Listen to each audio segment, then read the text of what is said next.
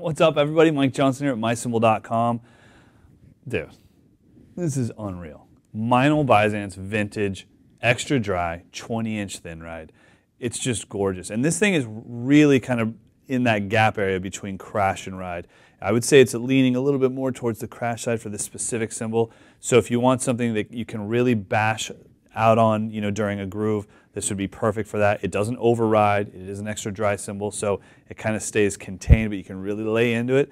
And then if you get on top of it, you can get some pretty decent stick definition. It's got a great bell on it. So if you want this exact cymbal, I promise you can only get this one here at mycymbal.com.